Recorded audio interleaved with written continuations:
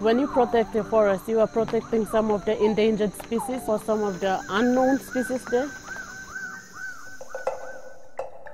We make do with what we have to get the job done.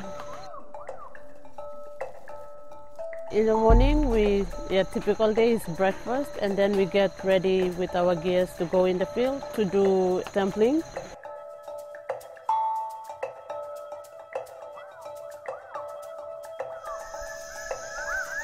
Papua New Guinea is not uh, explored, most of the parts of it, so we are bound to have new spe species and some um, rare species too.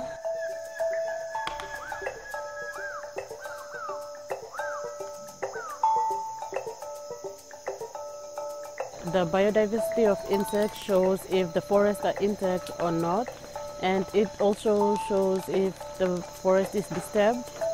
The number of species you find there shows that.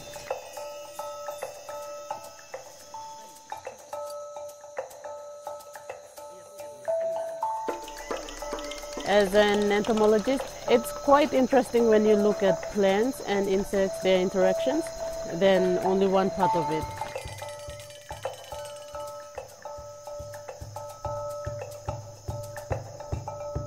The moths, we do them at night because we are doing light traps. When we go out to the field, we put this big white sheet and the light bulb that uh, attracts the moths. It's a UV light.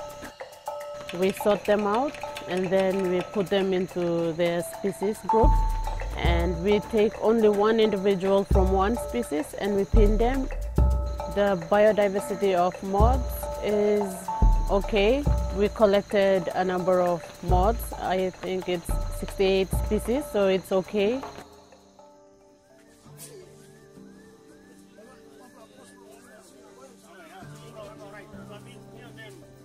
It would be good if there are more biologists which are females. As a woman, I'm proud of being a biologist because I get to know everything in the forest. And at the same time, it's nice to show other females that it's a good job to take. And if you get to be a biologist, you get to know more about your forest and everything in it. And at the same time, you will know that as a female, you are biologically a mother. So when you have children, you teach them how to take care of the forest and then they will teach their children. So it's an advantage for females to be biologists so they can teach the future generation how to take care of the forests. It's good to do scientific research before we let development such as logging or mining to come in.